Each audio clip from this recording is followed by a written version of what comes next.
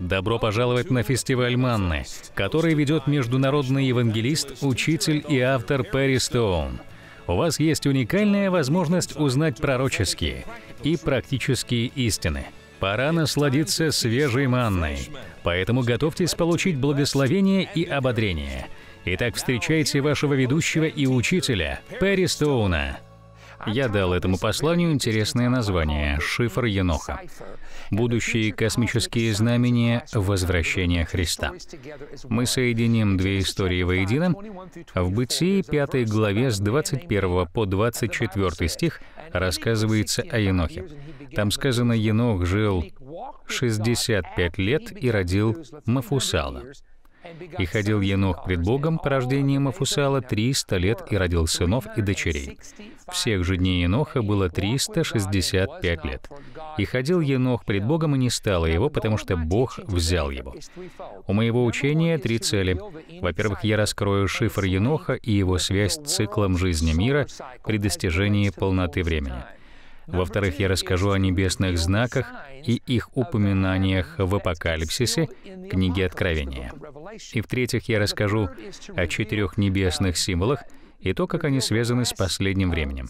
Чуть позже вы поймете, о чем именно я говорю. Имя Еноха в переводе с иврита означает «наставлять», «обучать». Кто-то толкует его как «учитель». Согласно Библии, Енох был седьмым потомком Адама. До потопа люди жили по 700-770 лет.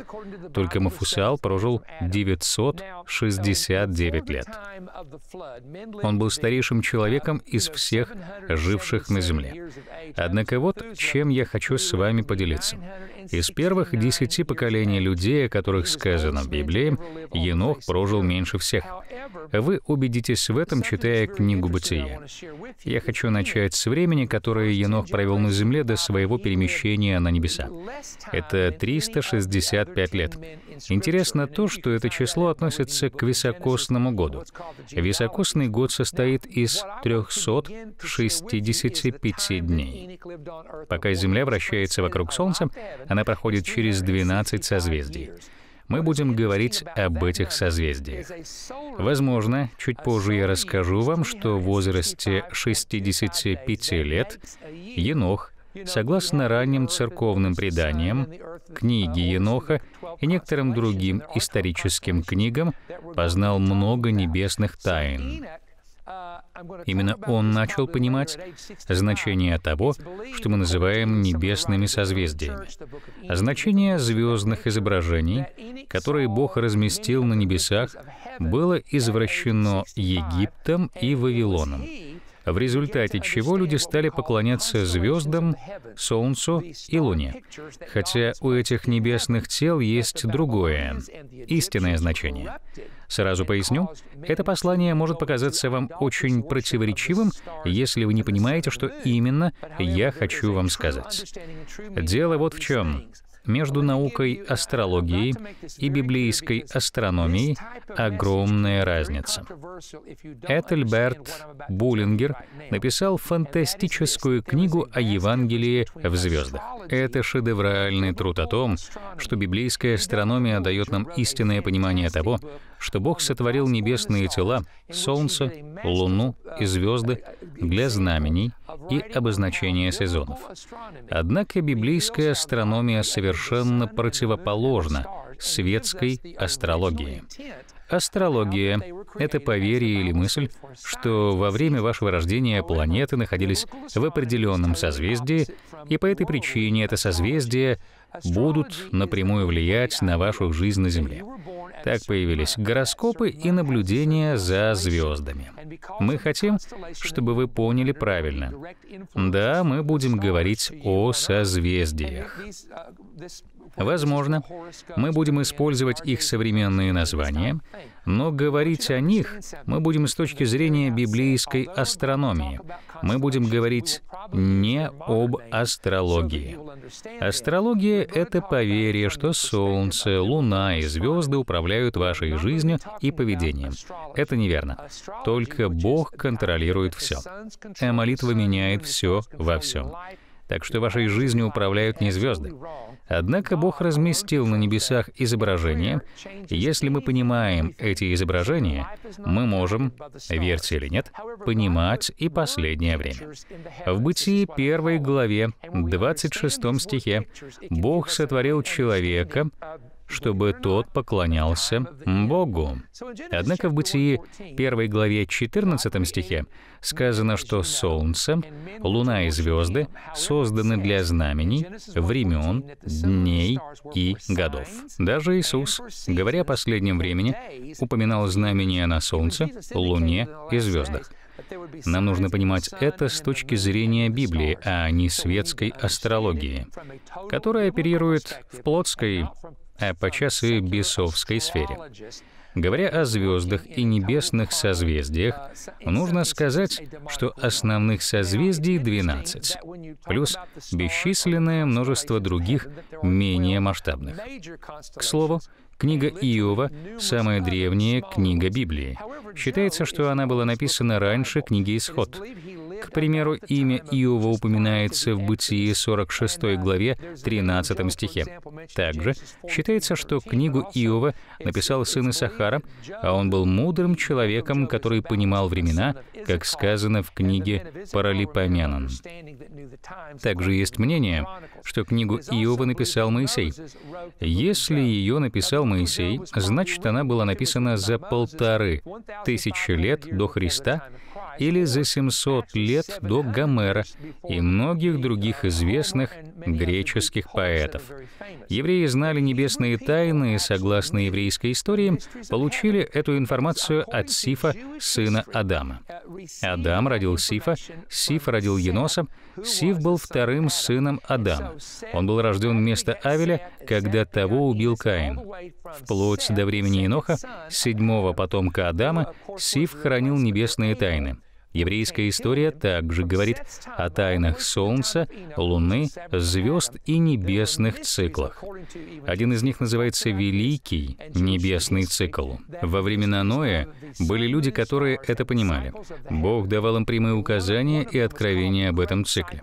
Когда Еноху было 65 лет, у него родился сын Мафусал. Имя Мафусал означает «его смерть повлечет его смерть положит начало. Интересно, что Мафусал прожил 969 лет и умер в том же году, когда начался потоп. Об этом сказано в 5 и 6 главах Бытия, и это легко почитать. В книге Иова, которую, вероятно, написал Моисей, сказано, что тот увидел в небе три созвездия. В книге Иова 9 главе 38 главе упоминаются созвездия Волопас, Плеяды и созвездие Орион. Оно очень знаменитое. Также он говорит о тайниках юга, что означает созвездие в южном полушарии. Пусть наш разговор о созвездиях и их отношению к пророчествам не покажется вам странным, словно мы говорим о чем-то, чего нет в Библии. Названия трех этих созвездий упомянуты в Библии. Есть еще один интересный момент. У Иакова было 12 сыновей. Много лет назад, будучи в Израиле, я зашел в синагогу, где велись раскопки. Меня шокировал пол этой синагоги. Там, в иудейской синагоге, были изображены 12 небесных созвездий. Там было и созвездие Девы и Льва. Я был ошеломлен. Тогда мне рассказали одно поверье. Слушайте внимательно, это очень интересно. Когда-то каждый из двенадцати сыновей Иакова выбрал для своего племени небесную эмблему. Когда Иосифу приснился сон о том, как ему поклонились одиннадцать звезд, это не были одиннадцать случайных звезд с неба. Это были одиннадцать небесных созвездий. У Иосифа было свое созвездие, и у его братьев тоже были свои созвездия. Читая Библию, вы увидите, что 11 созвездий поклонились созвездию Иосифа. 11 плюс 1 равно 12. В книге Бытие, 37 главе, есть один очень интересный стих, который звучит так. Это девятый стих. «И видел он еще другой сон, и рассказал его братьям своим, говоря». Вот я видел еще сон. Вот солнце и луна и одиннадцать звезд поклоняются мне. Иаков истолковал это по-своему. Он сказал Иосифу, «Твоя мать Луна поклонится тебе, но ее уже не было в живых. Или солнце, то есть твой отец Иаков, поклонится тебе, или твои одиннадцать братьев склонятся перед тобой». Читая это много лет назад, я думал, что речь идет о 12 отдельных звездах на небе. Но нет, каждый из сыновей Иакова — это отдельное племя. У Завулона была своя небесная эмблема. Эмблемой колена Иуды был лев, это всем известно. Другими словами, в древнем Израиле во времена Иосифа 12 сыновей Иакова взглянули на небо, и каждый из них выбрал себе знак. Кто-то считает, что представление о созвездиях, которое вошло в историю, родом из Египта или Вавилона, Вавилона. Нет, все началось с сыновей Иакова. Как вы помните, не сатана создал солнце, луну и звезды. Бог сотворил солнце, луну и звезды. Бог — Творец, и Он дал людям возможность видеть на небе эти 12 созвездий, но они никак не связаны с 12 апостолами, если вы об этом подумали. Еврейская история гласит, что каждый из двенадцати сыновей Иакова имел свою небесную эмблему, которая впоследствии стала символом их племени. Теперь расскажу то, что покажется вам интересным. Согласно Библии, на небесах обитают четыре животных. Если вы читали Библию, то помните, что апостол Иоанн увидел на небесах именно этих четырех животных. Посмотрите на них. Эти животные стоят на углах Божьего престола. У его престола четыре угла — северный, южный, западный и восточный. На этих углах располагаются четыре животных, о которых сказано в четвертой и пятой главах книги Откровения. Одно из них выглядит как лев, второе — как орел, третье по лицу похоже на человека и четвертое — как телец. Об этом можно прочитать в Откровении 4 главе, 7 стихе. Запомните это изображение, потому что сейчас я вам кое-что покажу. Посмотрите на льва. Лев — это эмблема колена Иуды. Эмблемой Рувима был человек. Эмблемой племени Дана был орел, а эмблемой Манасии, одного из колен израильских, был вол. Я повторю. На небесах четыре животных. Теперь взгляните, как выглядел стан во времена Моисея. В центре стана была скиния. Вы видите численность разных колен. Но обратите внимание вот на что. Дан на севере. Его эмблема — орел. На востоке Иуда. Надеюсь, вы не запутаетесь. Конечно же, юг должен быть внизу, а север вверху. Тем не менее, стан выглядел именно так. Итак, племя Даны символизирует орел, племя Иуды — лев, племя Рувима символизирует человек, а племя Ефрема — вол. Почему это интересно? Это четыре основных колена израильского народа на севере, юге, востоке и западе стана. Почему это вол, человек, орел и лев? Чуть раньше я сказал, что вокруг Божьего престола располагаются четыре животных — телец, орел, лев и человек. Эти четыре животных взывают «Святый, святый, святый, Господь Бог Всемогущий». Что же здесь интересного?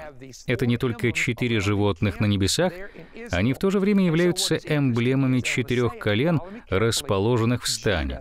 Следите за моей мыслью дальше. Эмблема колена Иуды — лев — то есть созвездие Льва на небесах. Дан на севере, Рувим на юге и Ефрем на западе. К чему я веду? Четыре колена израильских, четыре эмблемы этих колен на небесах и четыре животных. Давайте поговорим о том, как они соотносятся с небесными созвездиями. Лев — это лев, телец — это вол, водолея представляет человек, а скорпион первоначально изображался как орел. Повторю еще раз. Четыре стана израильских Лев, орел, вол и человек — это четыре эмблемы племен Иуды — Рувима, Манаси и Дана. Четыре животных на небесах — телец, орел, лев и человек. Они представлены на небесах в виде созвездий, которые я ради большей ясности буду называть так, как это принято в светском мире. Созвездие льва — это лев, созвездие тельца — это вол, созвездие водолея — это человек, а созвездие скорпиона — это орел. Сейчас его изображают как скорпиона, но раньше оно называлось орел. Глядя на эти созвездия, на стан израильского народа и на четыре животных на небесах, вы не можете не осознать следующее. Бог поместил эти изображения на небесах не для того, чтобы им поклоняться, но чтобы перед нами была картина, которая научит нас знакам, сезонам, дням, месяцам и годам. Сейчас мы обратимся к образам, которые были описаны в Апокалипсисе. Это очень интересно. В древние времена год состоял из 365 дней. Это полный оборот Земли вокруг Солнца. Затем эта цифра превратилась в 365 дней. Год начинался с созвездия Девы.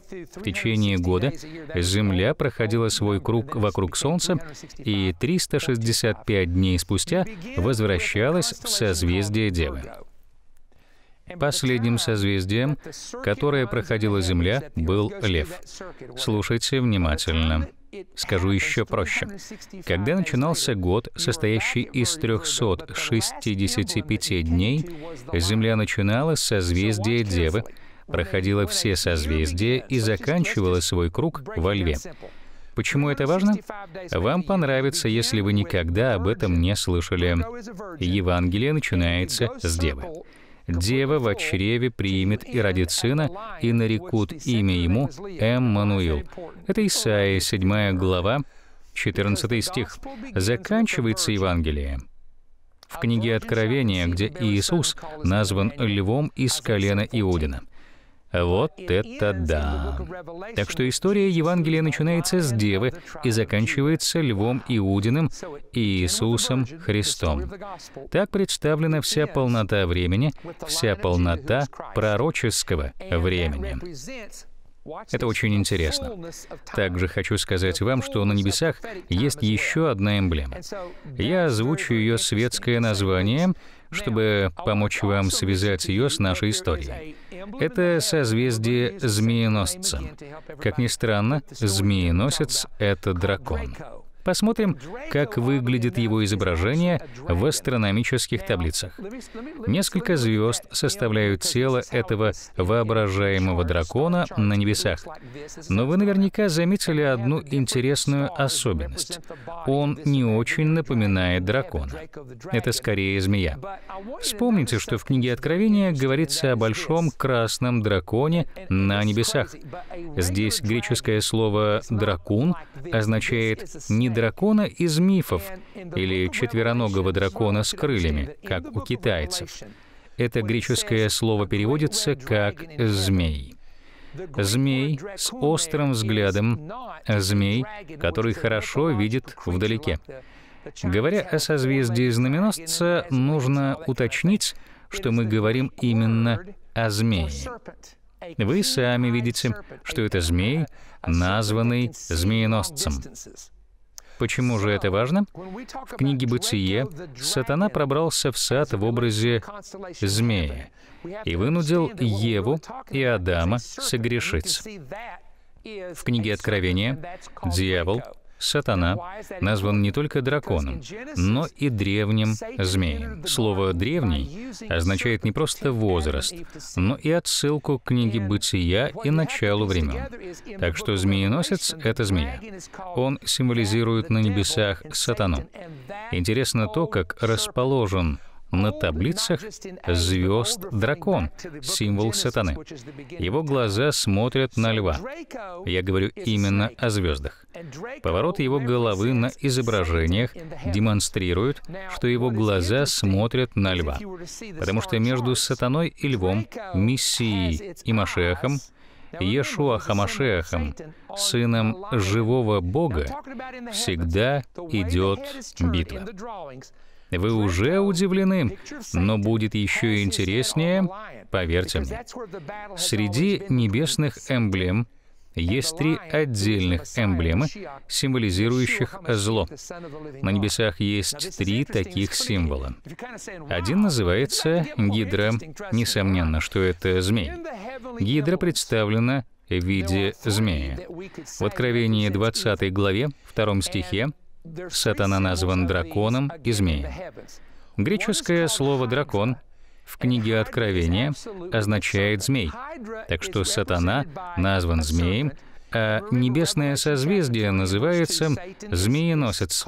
Гидра — это змей, сатана — это тоже змей. А теперь самое интересное.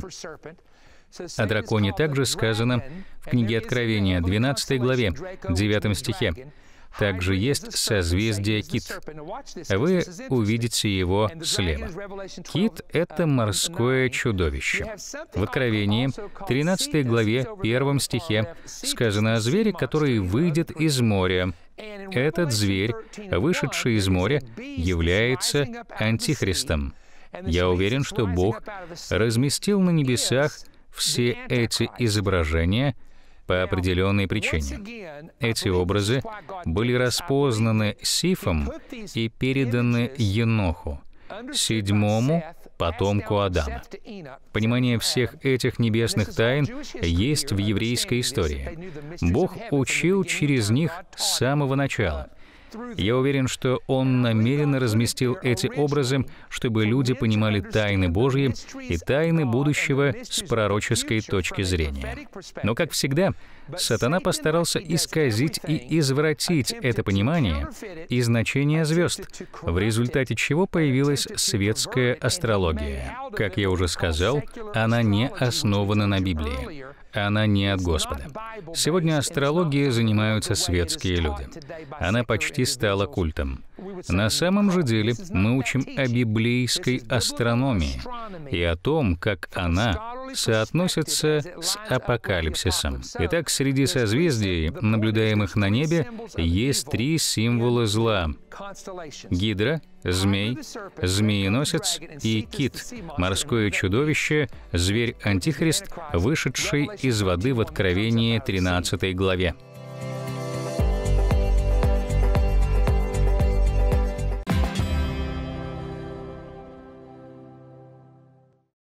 Теперь вы можете получить доступ к новому ресурсу Перри Стоуна, пророческому саммиту 2020. Пророческий саммит 2020 был снят на студии «Голос евангелизации». А вы услышите 8 актуальных пророческих посланий от Перри Стоуна и Билла Клауда. Он доступен в наборе из 8 DVD или 8 аудиодисков. Этот сборник поможет вам и вашим близким разобраться с важными вопросами, актуальными в этот момент истории. Вот что вы получите, когда сделаете заказ. Какие события связаны с воскресением мертвых в последнее время? Перри Стоун исследует этот феномен в теме «Раскрывая код Маранафа» как победить силу царства тьмы и высвободить силу царства Божьего. Билл Клауд рассмотрит этот вопрос в учении «Тайна разрушителя, царства небес и царства тьмы». Описывает ли Библия продвинутые военные технологии, которые уже есть у некоторых стран? Вы узнаете об этом в учении Перри будущие атаки ЕМП и апокалиптические пророчества. Утратили ли христиане контакт с важным духовным наследием, которое проявлялось в жизни библейских патриархов. Билл Клауд призывает вас вернуться к этой исторической связи в учении «Фактор Иосифа».